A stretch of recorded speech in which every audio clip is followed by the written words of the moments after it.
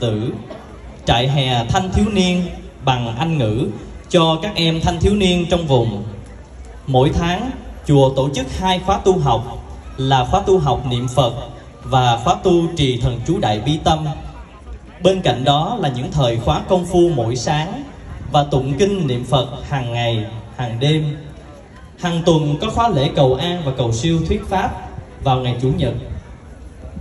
Lớp Việt ngữ cho con em trong vùng đến học trên dưới 50 em nhằm để gìn giữ và phát triển truyền thống văn hóa của người Việt Nam tại hải ngoại. Với những nhu cầu tu học của chư tăng và Phật tử như trên, trong khi cơ sở hạ tầng chùa còn giới hạn, khóa lễ mỗi chủ nhật, chánh điện không đủ quý Phật tử phải ngồi ngoài phòng khách.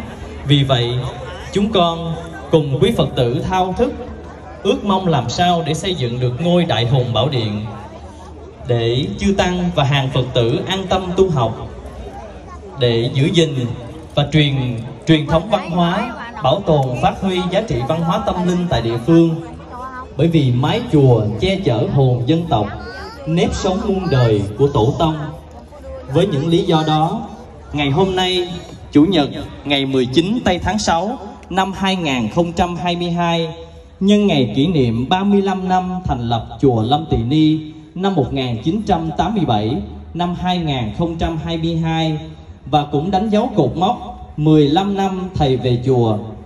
Trong khóa tu tịnh nghiệp đạo tràng an cư kiết hạ và khóa tu xuất gia giao duyên cho thập phương Phật tử, chùa Lâm Tị Ni phát nguyện đạt đá xây dựng đại hùng bảo điện.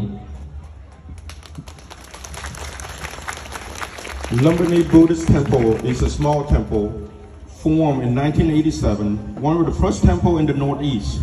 It is named after the birthplace of Sakyamuni Buddha, Lumbini. From the very beginning, the temple was an old single house. It was bought by a group of lay Buddhist members with the same ideal of devotion and learning, practicing Buddhism. It was named Lumbini Temple in 2007, the board of the temple invited Venerable Thich Nhuang Bin to be the abbot, the teacher of the temple.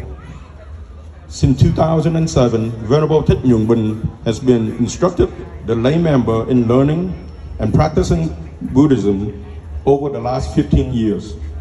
Ever since Venerable Thich Nhuang Bin has resided here, the temple has been hosting big celebration of Buddhist calendar year, such as Buddha birthday and the Ullambana Day with over 700 attendees. This is an annual retreat, such as the monastic summer retreat for the monks and nuns, as well as the lay member. There's also the Buddhist summer camp for youth. Also, there are bi-weekly one-day retreat. Beside all the annual and monthly retreat, the daily chanting are kept in schedule along with Sunday services and weekly Dharma sharing sessions. In order to maintain the culture as well as the Vietnamese language for youth and children, the temple has Vietnamese classes, over 50 students. Due to high demand for the use of the temple for spiritual guidance, and due to the current limited capacity, members are forced to sit outside the Buddha Hall in light of this, the community is hoping to construct a new, larger capacity Buddha Hall that will allow for more spaces for more attendees. Due to this, our Venerable Thich Nhuang Bin, on June 19, 2022, the day that marks the 35th anniversary of the Lumbini Buddhist Temple, and also the 15 years of our Venerable Thich Nhuang Bin teaching at the temple, he vows to have a groundbreaking ceremony to build the new Buddha Hall.